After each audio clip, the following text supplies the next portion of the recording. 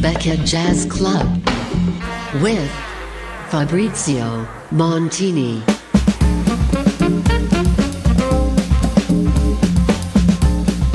Da Fabrizio Montini un ben trovati ad un nuovo appuntamento con il Becker Jazz Club, il podcast dedicato al jazz, inteso nelle sue innumerevoli accezioni, sfumature, contaminazioni, che giunge in questa nuova puntata della stagione 2020-2021 eh, dopo aver eh, esplorato eh, territori anche inusuali, eh, di cui si sente però recentemente parlare, come quello del jazz los angelino, grazie ad un maestro come Horace Tapscott che abbiamo eh, in qualche modo eh, trattato grazie alla competenza di Fabrizio Spera nell'ultima puntata.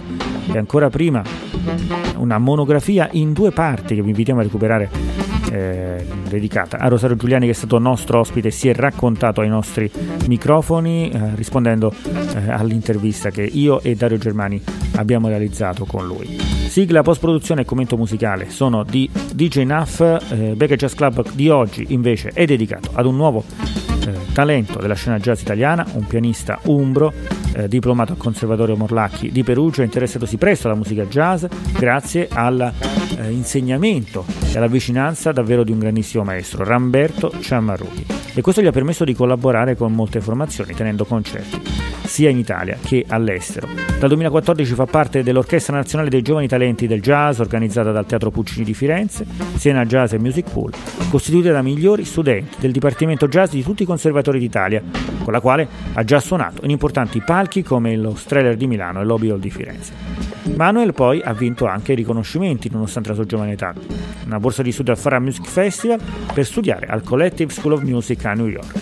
E allora ricominciamo eh, la nostra playlist prima di averlo qui ai nostri microfoni per parlarne direttamente con lui. Dal suo ultimo disco, appena uscito per Encore Jazz, si intitola Dreams Manuel Magrini Trio. Questo è Fuori dal coro al Becker Jazz Club.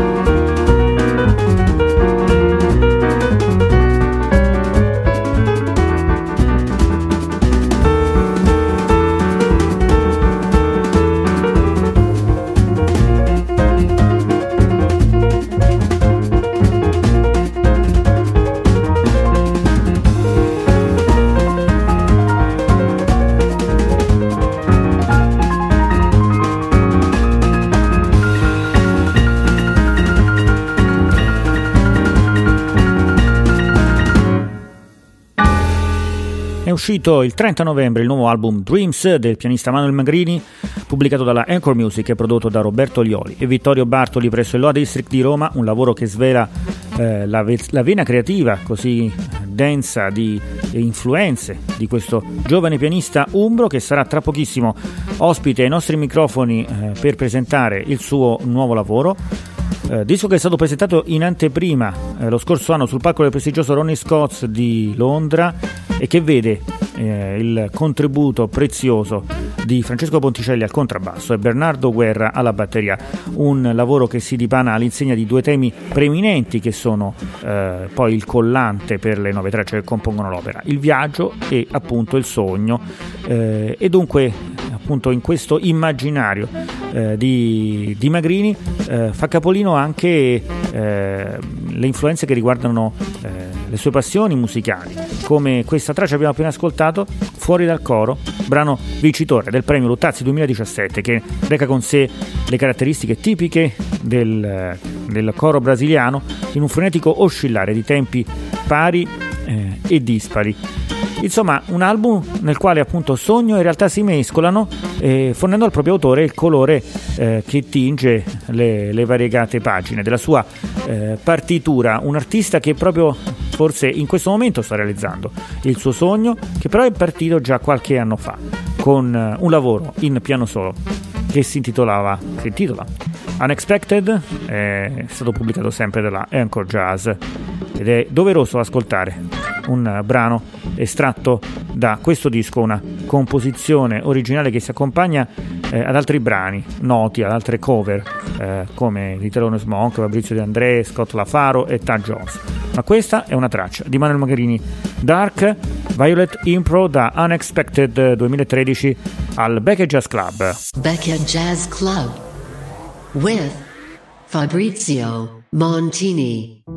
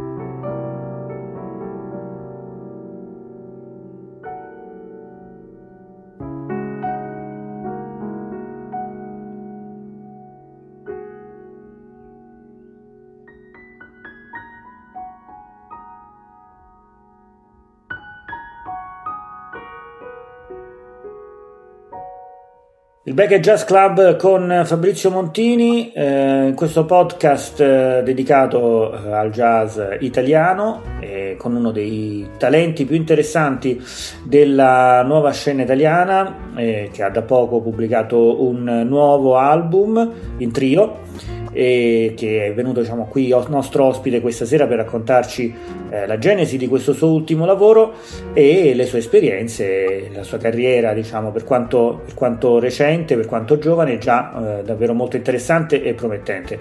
Eh, do il benvenuto a Manuel Magrini, ciao Manuel e benvenuto a Jazz Club. Ciao a tutti, piacere. Con noi c'è Dario Germani che ci eh, coadiuva per quanto riguarda tutto l'aspetto tecnico musicale. Diciamo. Ciao Fabrizio, ciao Manuel, ciao a tutti gli ascoltatori. Ciao. Allora Manuel, eh, è uscito da pochi giorni il tuo nuovo album, si intitola Dreams, pubblicato da Encore Music, realizzato in trio con Francesco Ponticelli al contrabbasso e Bernardo Guerra alla batteria.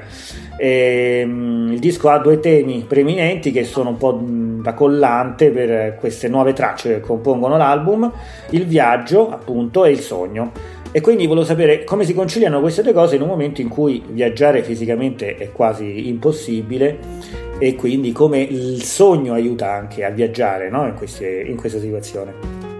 Esatto, adesso ci affidiamo un pochino più al sogno che al viaggio fisico, senza dubbio. Beh, allora, il, il disco è nato proprio uh, maturando queste idee attraverso tutti i vari in- input, stimoli che ho avuto viaggiando, dato che dal 2016, quando è uscito il mio primo disco in piano solo, Unexpected, ho veramente girato tantissimo eh, per presentarlo, oltre che in tantissime parti d'Italia, ma anche in Scozia, in Città del Messico, in Turchia, in Asia. Veramente sono stato veramente in un sacco di posti. E tutto ciò è stato veramente impattante su di me al, dal punto di vista sia della maturazione personale e musicale. E tutto ciò mi ha aiutato diciamo a creare ancora di più mescolando anche vari input stilistici presi anche ne, ne, nelle varie culture con le quali sono stato a contatto questo per me è stata l'esperienza del viaggio, ma anche il sogno. Molto spesso ehm, i sogni fatti durante i viaggi mi hanno influenzato, perché in un certo senso il sogno è esso stesso un viaggio, più dentro di sé ovviamente che, che fisico. Però il viaggio anche fisico tante volte è in un certo senso un, una, un, un percorso interiore, no? Io ho trovato attraverso l'intreccio delle due cose eh, il tema portante de, del disco. Non a caso poi tutti i brani eh, portano, quasi tutti portano il, nel titolo il, il, nome del posto dove sono stato dove sono stati concepiti. E gli altri comunque sono stati scritti nei vari posti. Quindi Oslo, Manhattan, Abu Dhabi sono luoghi non soltanto immaginati, ma anche diciamo eh, vissuti. appunto vissuti nei tuoi viaggi esatto. I sognati senza diciamo, dubbio. diciamo a livello evocativo sono posti e ho citato questi tre perché eh, eh, mi sono venuti in mente sono molto distanti tra loro no? Oslo, Manhattan, Abu Dhabi tre, tre luoghi che tra loro non hanno nulla in comune eppure ti hanno dato ispirazione tutti quanti. Assolutamente sì. Eh, per motivi diversi e per cose notate da me ovviamente diverse, uh, ad esempio, che ne so, Abu Dhabi, no? Eh, quel brano l'ho scritto dopo che sono stato a visitare eh, il grande deserto, adesso non ricordo benissimo il nome che è vicino proprio alla città, e il contrasto tra le luci, il, tutto il via vai della città, comunque è una città enorme e piena di vita, no? E, e la calma totale, piatta del deserto, anche la calma dal punto di vista anche cromatico, proprio mm, visivo, no? eh, monocromatico più o meno al deserto, no? invece t- tutti i colori della città, così come l'impatto anche della cultura lì araba leggermente europeizzata che c'è, mi ha fatto un effetto strano tra il positivo e il, quasi il, il timore. No, e tutto questo un po' l'ho riportato nell'atmosfera di quel brano, ad esempio. Eh, questo è un esempio di, di, questi brani, ma ovviamente poi tutti diversi, ogni brano ha la sua storia. Ad esempio, Re di Oslo eh, l'ho portata per un concerto che ho fatto all'Istituto Italiano di Cultura, lì appunto ad Oslo, e avevo questo brano pronto più o meno al 90% e molto spesso faccio il tester di questi brani e li presento in anteprima in concerto e chiedo al pubblico un consiglio sul titolo, perché tante volte magari la cosa più difficile per me è il titolo, no? E tra i consigli c'è stato proprio Rain in Oslo, ho detto è, è la sua, è perfetta. e quindi anche questa ci ha avuto questo percorso particolare. Manuel, Dreams esce quattro anni dopo Unexpected e entrambi sono dischi che sono usciti per l'etichetta discografica Encore Jazz fondata da uh, Roberto Lioli. Vuoi raccontarci come nasce questa collaborazione di stima reciproca immagino e di produzione appunto? Certo, assoluta stima, assoluta stima e gratitudine da parte mia.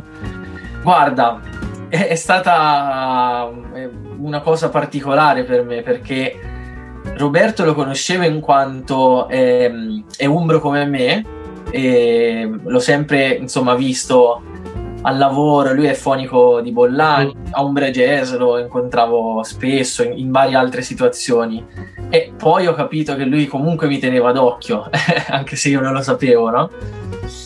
E quindi da un giorno all'altro c'è stata la telefonata e la proposta da parte di Vittorio Bartoli e di, Roberto Lioli, che comunque in coproduzione hanno lavorato sia al primo disco che a questo secondo.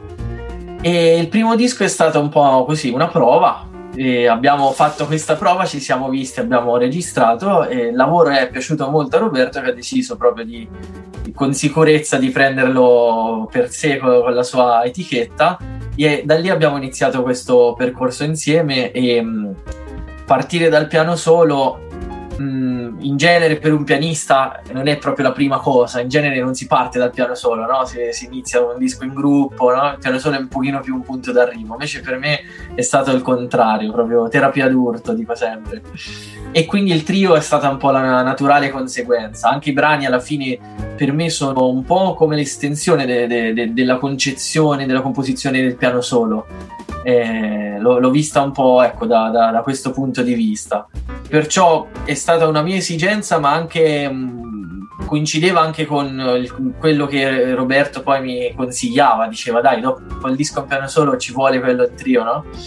E quindi mi ritengo veramente fortunato ad averlo conosciuto e, e sono grato a lui e a Vittorio proprio perché hanno, hanno creduto in me, continuano a credere in me e, e sono insomma due figure molto importanti in questo momento per il mio percorso artistico vi siete anche confrontati su diciamo un po' gli aspetti tecnici anche del suono, della registrazione del pianoforte? Perché è una idea comune che il pianoforte è uno strumento un po' impersonale ma non è assolutamente vero come eh, noi sappiamo insomma. Quindi c'è stato modo di confrontarvi un po' su queste tematiche legate al suono, alla registrazione, all'aspetto timbrico. Certo, guarda, allora, in primis, eh, allora, ci sono alcune cose da dire, anche riguardo quello che hai detto sul pianoforte, che è vero, superficialmente uno dice non è come una voce, no? Eh,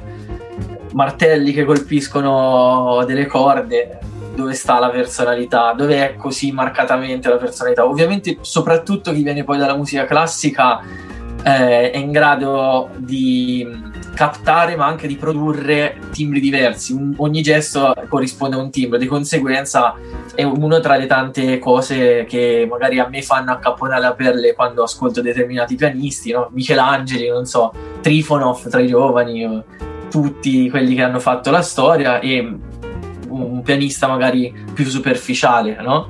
E la differenza è quella. E quindi ovviamente Roberto ha, ha tanta esperienza anche da questo punto di vista, proprio nella registrazione, nel, mh, come tecnico del suono per, per il pianoforte, un po' lavorando con, con, Stefano, ma anche in tutte le altre situazioni di altissimo livello, no? eh, con le quali ha a che fare. E quindi eh, per rispondere alla domanda, in partenza io mi sono semplicemente fidato di, di, come lui ha impostato le cose. Poi, strada facendo, abbiamo fatto ovviamente sì delle considerazioni, sia riascoltandolo con l'impianto giusto, sia anche riascoltandolo eh, da casse magari random proprio per capire un po' il fruitore medio, no? Co- co- cosa può... Esatto, anche in macchina, no? E quindi eh, era tutto anche molto in base alle caratteristiche. Per esempio, una cosa che ho notato incredibile di Roberto è riuscire a correggere difetti del pianoforte, insiti nel, nel pianoforte, che a volte sembrano mh, mm, quasi incorreggibili. tipo, che ne so, eh, mi ricordo un pianoforte aveva un problema di, di, del suono molto nasale, molto medioso, no? E, però in una maniera che era anche difficile da correggere. Invece lui alla fine ha trovato la, la quadratura del cerchio, quelle cose quasi impossibili per me almeno analfabeta in, in, uh, in questo ambito, no? Così come altri magari problemi riscontrati, lui ha sempre trovato delle soluzioni, anzi riascoltandolo dicevo wow, ma non sembra quello che, che, che sentivo, sembra è lui ma perfetto, cioè, incredibile, questo ha fatto la differenza, ecco. Parliamo delle, degli artisti che ti hanno influenzato, eh, sia diciamo, nella tua eh, dimensione di musicista classico che in quella di un musicista jazz. Io tuoi, nelle tue opere eh, diciamo, eh, jazz, sia in solo che, che in trio, ho trovato diversi riferimenti anche a alcuni pianisti recenti come Robert Glasper eh, o come trio a quello di Esbjörn Svensson. Eh, ma mi piace anche molto il tuo stile solista che ricorda in alcuni tratti eh, si ispira, sento insomma una forte componente di ispirazione a Bill Evans. In un periodo particolare come questo che ci porta uno dei più grandi pianisti Keith Jarrett a, a dover dichiarare insomma il suo abbandono dalle scene il che ovviamente ha intristito un po', un po tutta la scena mamma mia, è stata una mazzata ovviamente, perché quelli sembrano dei miti che non, non smettono, non smetteranno mai no, di fare arte e poi quando ti scontri con la realtà lì per lì è dura da accettare.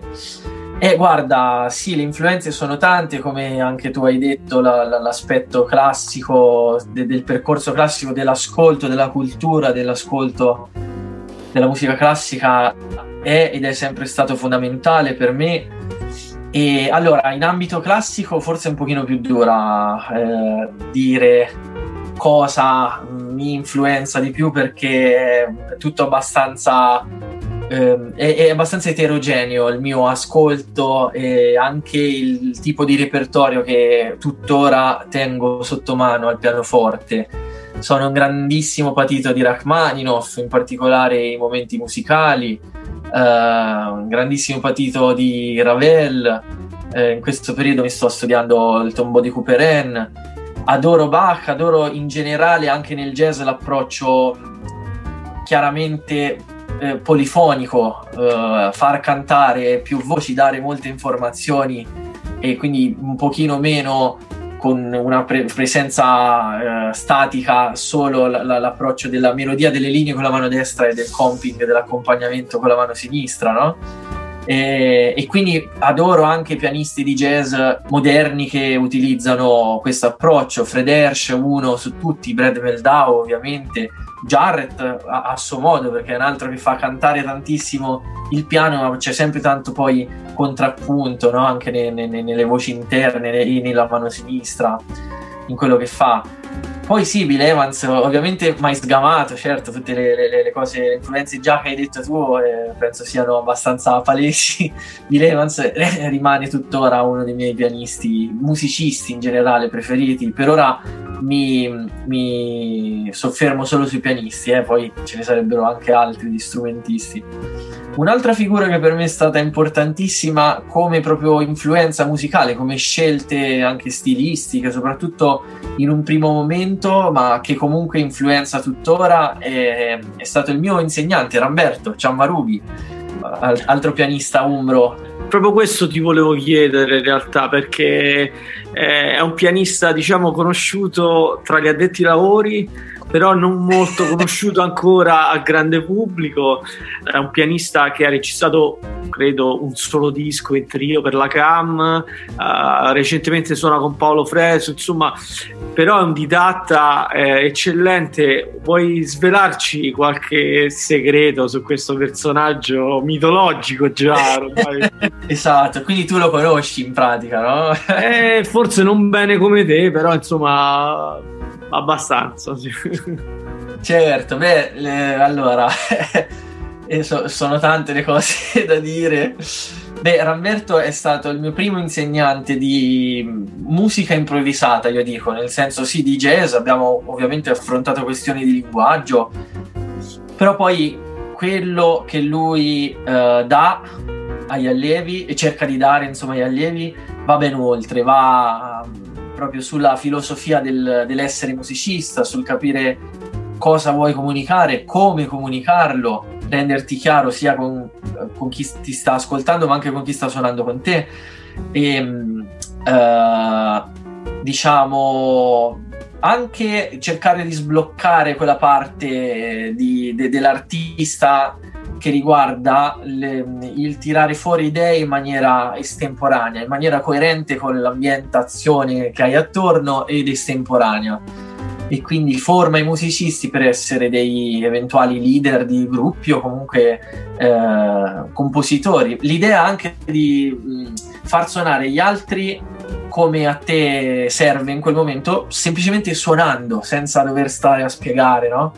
E quindi, cioè, queste sono cose che vanno oltre anche il linguaggio, la tecnica, no? E non è facile cercare di trasmettere questo, no? E, e devo dire che lui è eh, efficace, è stato fondamentale per me. In realtà ho costruito il mio modo di essere musicista a partire da questi principi che lui ha cercato di, eh, diciamo, donarmi, no? passarmi il fuoco. E, è stato il mio primo insegnante, dicevo, eh, avevo 15 anni quando ho iniziato con lui, ecco. E, ci ho studiato in maniera stabile fino ai miei 18, 18, 19 e poi dopo, un giorno così, mm, a sorpresa, chiacchierando a lezione, ha detto e quindi ecco, oggi questa è l'ultima lezione, se vuoi ci rivediamo ovviamente per prendere un caffè, eh, però adesso basta, basta, via. Adesso senti altri, altre campane, suona, eh, vai. E anche in questo sono grato a Ramberto perché è stato maturo come scelta, no? dire le cose per me più importanti che ho cercato di, di, di trasmetterti eh, l'ho fatto, adesso cerca di, anche di sentire altri, non rimanere troppo attaccato a un modo di vedere le cose, altrimenti no, poi no, ti fossilizzi e rischi di non essere più te. Quindi ci ho letto questo, ecco, in tutto ciò. Onestà intellettuale. Esatto, poi sì, lui ha, non ha registrato tante cose, a nome suo sono pochissime, perché come disco di jazz forse solo questo in realtà che hai detto tu, che è quello con Miroslav Vitus e Gerald Criver, no? E poi ha scritto molta musica contemporanea, cose per musica per immagini, come Sideman è presente in parecchi dischi, però sì, è poco conosciuto. Eh, Manuel, diciamo, questa tua eh, diciamo, versatilità, capacità di misurarti con, eh, con varie eh, stili pianistici. E anche la tua formazione accademica eh, ti ha portato anche a, ad ottenere importanti riconoscimenti, uno di questi tre anni fa il premio Lelio Luttazzi. E allora volevo capire, eh, ti inserisci forse in, una, in un filone che è quello insomma, dei grandi pianisti italiani si può parlare di eh, diciamo, un pianismo italiano che vede tra i suoi rappresentanti famosi, oltre ovviamente al maestro Ciamarughi, anche Franco D'Andrea, Enrico Pierannunzi, lo stesso Bollani, insomma, e tanti altri. Cioè, è eh, secondo te in qualche modo eh, un, una scena che ha dei suoi tratti distintivi, un percorso comune? Senza dubbio, in particolare per quanto riguarda i pianisti, questo è quello che credo io. Cioè, io sono cresciuto anche con i pianisti che hai appena citato e vorrei citare anche Stefano Battaglia, un altro pianista, insomma, incredibile e anche influente su, su di me eh, come ascoltatore, no? Sì, e, beh, a me piacerebbe senza dubbio anche essere definito così, cioè un pianista italiano, porta avanti comunque, come dire, un discorso musicale dal quale si capisce, si evince la provenienza italiana, no? Sono insomma fiero delle mie origini, anche delle mie origini umbre, del mio paese, Cannara, lo dico sempre, quindi è una cosa per me importante e anche dal punto di vista dell'importanza che si dà ai vari elementi musicali. Effettivamente sono cresciuto con questo tipo di educazione, la, cioè la, uh, l'importanza delle linee, delle linee melodiche, della logica costruttiva eh, del racconto musicale, no? E mm, sto, negli ultimi anni sto cercando di conciliare questo, che è anche credo un tratto mm, importante anche dei, dei, pianisti che tu hai citato, comunque de, del jazz italiano in generale. Uh, sto cercando di conciliare questo a um, un approccio ritmico uh, deriva, che deriva più da magari musica eh, sia afro-latina, oltre afro-americana ovviamente, afro-latina, eh, cubana, brasiliana, peruviana anche. E quindi ecco, in, in, questi ultimi anni anche, ho cercato un po' di evolvere la mia ricerca musicale verso quella direzione, in quanto ho visto che eh, attraverso anche la ricerca ritmica ci sono dei mezzi di espressione eh, notevoli che a, che a, me servono. Per esempio, un musicista che mi ha veramente svoltato da quel punto di vista è stato Tigran Hamasian, che non fa parte delle categorie che ho appena citato, ma è un altro che ha fatto della ricerca ritmica uno dei suoi punti forti, senza dubbio. Però è anche un grandissimo compositore. E mm, le melodie le linee che scrive sono meravigliose, quindi anche in lui ho trovato un bellissimo punto di incontro che è, è, stato di grande ispirazione per me e credo che un, un pochino si possa capire anche ascoltando alcune composizioni di, di Dreams del disco. Nel tuo percorso artistico hai avuto modo di lavorare con eh, diversi musicisti italiani affermati anche sulla scena internazionale inutile fare la lista qui, ma insomma Mirabassi, Fresu, De Ida, Fabrizio Sferra, Gianmarco, Paolo Damiani, eh, Massimo Manzi, oltre a, ad esempio a Enrico Rava e Rosario Giuliani, che tra l'altro sono stati già nostri ospiti qui al Vega Jazz Club e che di nuovo salutiamo e ringraziamo. Da queste tue esperienze, che, che aneddoti o anche che insegnamenti che ti ricordi, che, che puoi ricordare qui eh, ascoltatori? Allora, di anche dei nomi che hai citato, con qualcuno c'è stata una collaborazione proprio stabile e anche lunga. Con qualcuno eventi sporadici, ma ognuno sicuramente ha lasciato impronte importanti, no? Perché un po' per proprio come dire, il gusto di dire ah che bello sto suonando con un musicista che ho sempre ascoltato nei dischi, no? per me è un supereroe, trovarmici a suonare è una cosa bellissima. E tra l'altro una cosa eh, così mi sta capitando anche adesso, per esempio con Cristina Zavalloni, stiamo facendo, eh, insomma, de- stiamo suonando parecchio in duo, eh, pre- preparando un repertorio sempre tra la musica colta, classica e standard jazz cose di improvvisazione libera, no? e quindi già quello è, è, una cosa forte. Poi molto spesso sono gli aneddoti che, che, mi colpiscono dei vari musicisti. Spesso capita di trovare musicisti con tanta esperienza e che sono super generosi con, uh, con i giovani, no? Proprio perché hanno questa esigenza di poter tramandare un po' le cose, no? E questa è una cosa preziosa, preziosissima per me, per tutti i ragazzi, no? Per esempio, de- degli aneddoti belli. Eh, li ho ricevuti da due musicisti che hanno suonato in prima persona con Miles Davis, il Miles dell'ultimo periodo, degli anni 80-90, diciamo, eh, 90, vabbè, non è che abbia visto così tanto gli anni 90 Miles, però per dire degli anni 80, diciamo, via. Eh, quindi Rick Margizza, eh, Steve Thornton, che era il suo percussionista, e mi ricordo un aneddoto bellissimo che mi ha raccontato Steve eh, l'abbiamo conosciuto insieme al mio collega Roberto Gatti, percussionista di Uribe, un duo che, che abbiamo insieme, durante una nostra tournée in Malesia. E abbiamo conosciuto lui, abbiamo gemmato insieme, lui è venuto ospite a una nostra serata e noi siamo venuti ospiti in una sua e un aneddoto bello che mi aveva raccontato era stato questo, in pratica lui stava suonando con Miles, avevano registrato, non mi ricordo qual era il disco, dovrei andare a ricercare, e suonavano, facevano concerti e diciamo, una volta Miles disse a lui, eh, hey, don't play south the border. E lì, per lì lui non capì cosa voleva dire, come sempre diceva frasi critiche e quando le, le capivi una vita dopo e poi, poi quando le capisci ti svoltano la vita, no? Questo è un po' quello che racconta anche Herbie Hancock nei suoi aneddoti.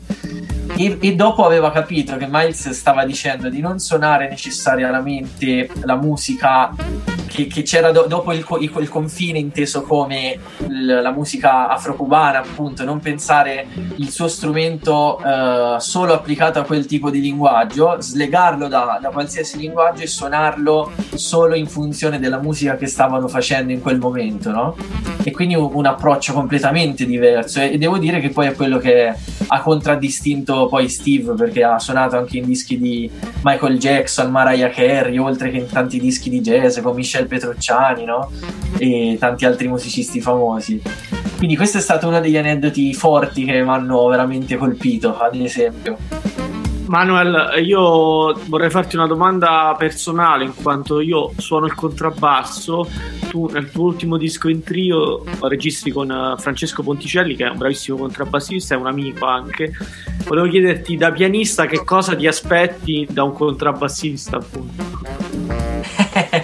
Bella domanda, bella domanda. Guarda, l'importanza eh, della connessione piano-contrabbasso l'ho iniziata ad approfondire, diciamo, relativamente ne, negli ultimi anni.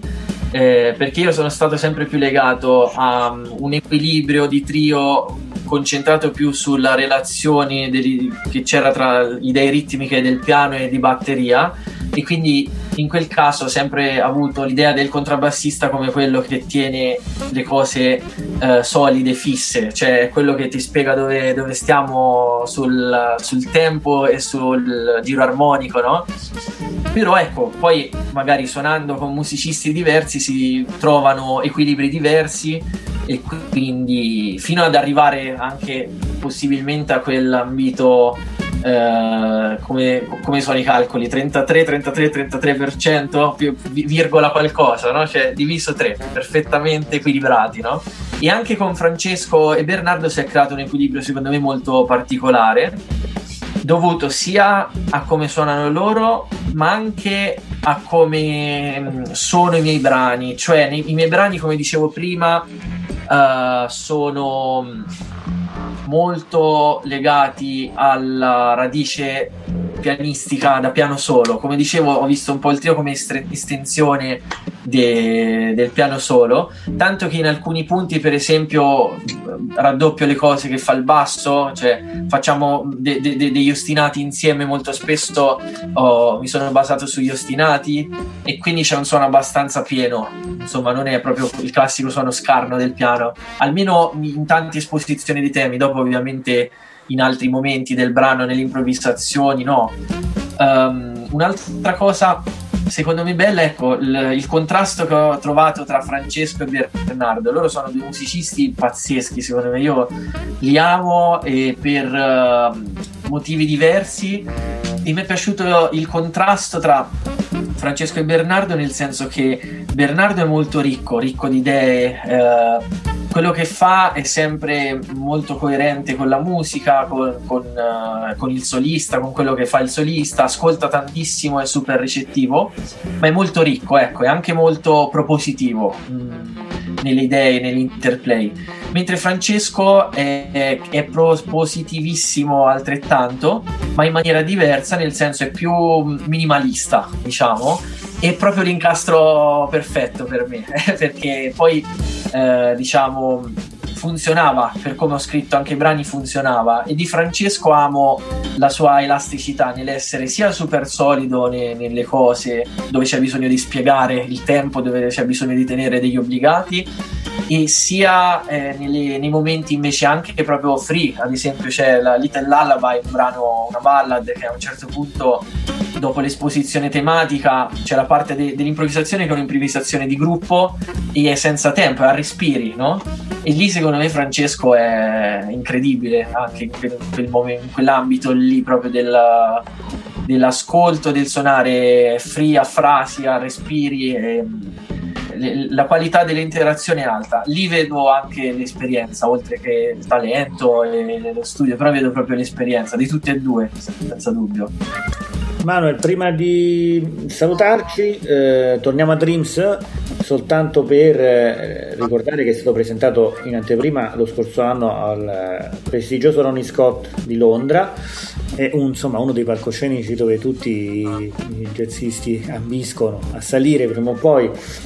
Ora però diciamo purtroppo dal vivo non ci si può più esibire in questo momento, allora volevo anche richiamare l'importanza della dimensione del tuo rapporto con il pubblico eh, di questa prima che è stata una prima eh, a cui speriamo poi seguano altre insomma. Assolutamente sì, beh quella è stata una bellissima esperienza perché sì, come hai detto te è un posto molto ambito e poi eravamo affiancati, era un festival dei piano trio, eravamo affiancati al trio di Jason Rebello che tra l'altro ho conosciuto, persona fantastica e quindi è stata un'esperienza emozionante, è bello poi perché eh, anche in relazione a quello che hai detto riguardo al rapporto col pubblico, no? Eh, lì il pubblico era proprio attaccato, vicinissimo, oltre, cioè il posto è grande, quindi erano sia lontano che vicino perché era pieno il locale, era sold out. E a me questa cosa mh, piace tantissimo. Io sono fortemente eh, influenzato dal rapporto col pubblico. Se riesco a, ad, in, ad, instaurare una relazione bella, di qualità con chi mi ascolta, allora suono bene, altrimenti non, non, non suono bene. Se sento anch'io la distrazione, sento anch'io la, il vuoto di, di idee, no? Quindi è una cosa fondamentale. Io personalmente vivo la musica così, come un mezzo di comunicazione, come una come relazione e quindi per me ha senso quando c'è quello, c'è quello quando c'è la relazione. Eh, non lo vivo tanto come sfogo, sinceramente. Sfogo con altre cose, videogiochi, libri, altro, camminate. E quindi ecco, eh, anche in questo momento in cui siamo rinchiusi a casa, in modi alternativi poter coltivare la relazione col pubblico è importante, sia eh, anche suonando in streaming, mi è capitato di fare un, qualche concerto in streaming e comunque si era creata la relazione col pubblico. Eh, de, del modo che tu la senti, anche se non, non, è fisica, però la senti, te la senti addosso, quindi senti una sorta di influenza positiva, no?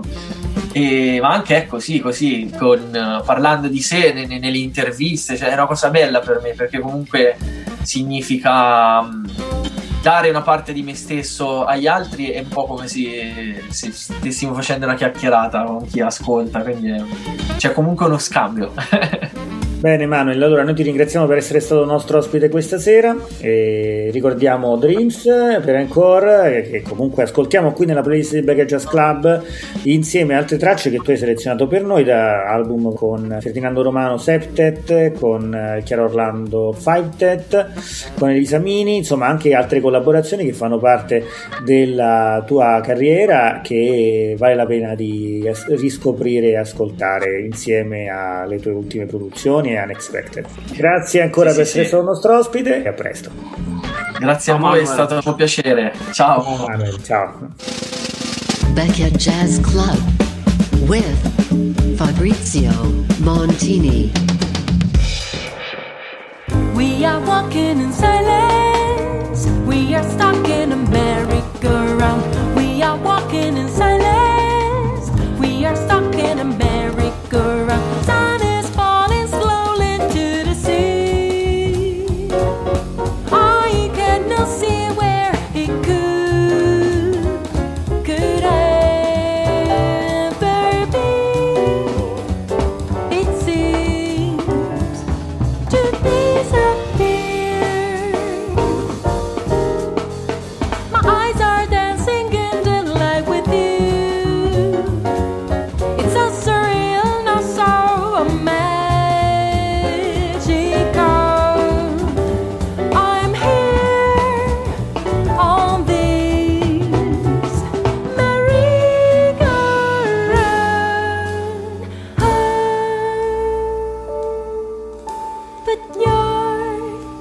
friend.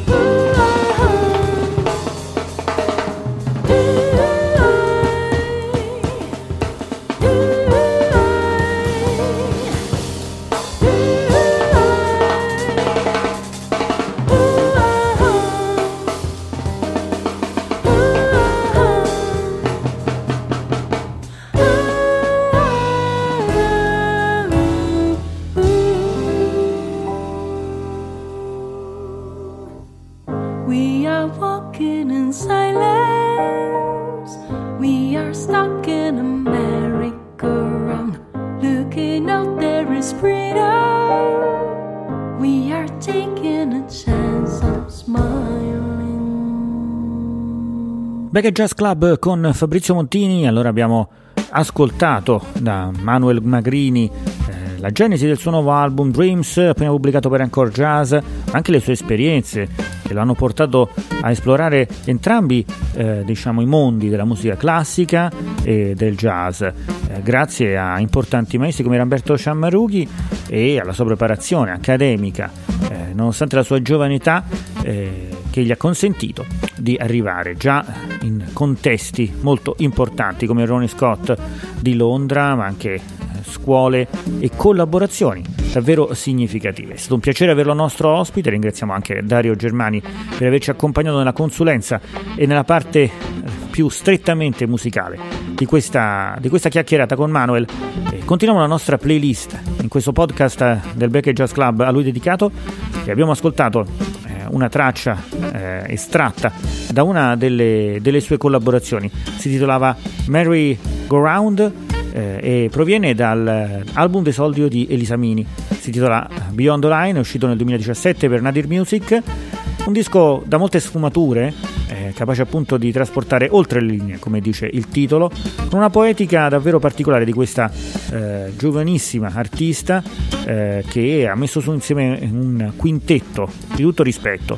Eh, al suo fianco infatti ci sono Federico Pierantoni al trombone, eh, Francesco Pierotti al contrabbasso, Bernardo Guerra alla batteria e naturalmente Manuel Magrini al piano, Manuel che ha scelto per noi la selezione della sua musica nel suo repertorio da inserire nella nostra tracklist, così come ha scelto per noi la traccia che stiamo per ascoltare che arriva dal disco di Ferdinando Romano, un giovane contrabbassista beneventano che ha pubblicato nel 2020 il suo disco d'esordio Totem, un disco davvero particolare ispirato alla natura, eh, quasi sciamanico in certi aspetti e che si avvale anche qui di un ottimo interplay, eh, merito dei musicisti, tutti giovanissimi, coinvolti insieme eh, a lui, Giovanni Paolo Liguore alla batteria, Simone Alessandrini al sax alto e soprano, Tommaso Iacovello al firicordo, Nazareno Caputo al vibrafono e marimba, Ralph Alessi alla tromba e Manuel Magrini al pianoforte. E allora da Totem di Ferdinando Romano Septet ascoltiamo questa composizione Wolf Totem qui al Beck Jazz Club con Fabrizio Montini.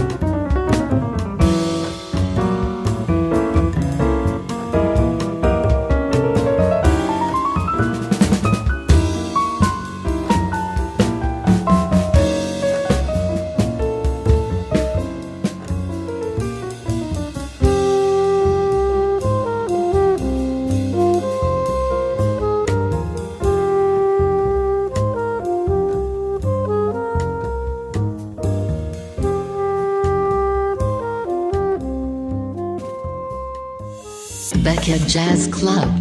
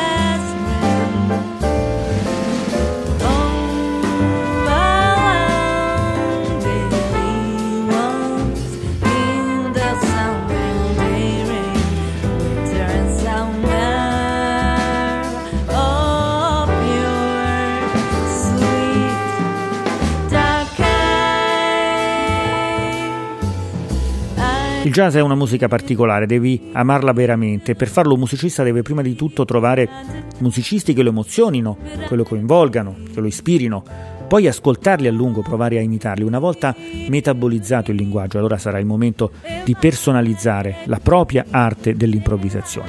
È quello che fa Manuel Magrini, che ringraziamo per essere stato nostro ospite in questa puntata del Beck Jazz Club a lui dedicata e che ci ha aiutato a costruire la sua playlist d'ascolti che spaziano non soltanto dalle sue produzioni ma anche nelle sue collaborazioni che nonostante la sua giovane età ha già messo in campo insieme ad artisti della nuova scena jazz italiana. Abbiamo ascoltato un brano estratto da Totem, disco d'esordio di Ferdinando Romano con il suo ensemble in sette elementi. E questa che abbiamo appena ascoltato era In Search of Memories, un brano che arriva dal disco di debutto di Chiara Orlando Quintet, si intitola Place of Stillness e lei è davvero un artista che ha dimostrato di eh, già di aver assimilato il messaggio dei grandi maestri per cercare di di avviare una propria personale espressione artistica, una propria riconoscibilità. In questo disco eh, Chiara Orlando e Emanuele Magrini si fanno accompagnare da Antonello Sorrentini alla tromba e filicorno, Pietro Ciancaglini al basso e Valero Vantaggio alla batteria. Siamo dunque arrivati alla conclusione di questo speciale Baggage Club dedicato a Manuel Magrini ed è con una traccia estratta dal suo ultimo disco intitolato Dreams per l'Anchor Jazz che vi salutiamo.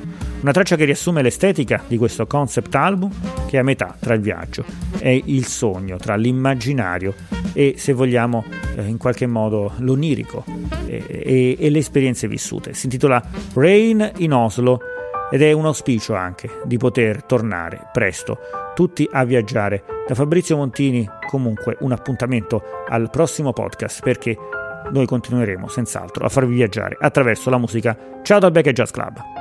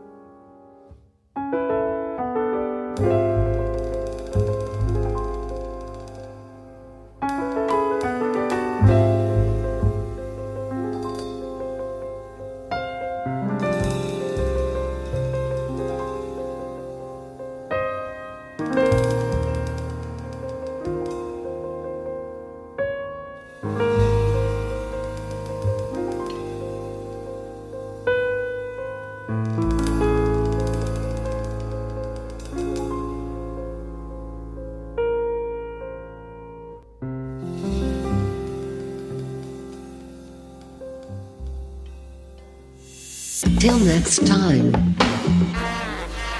From Becca Jazz Club.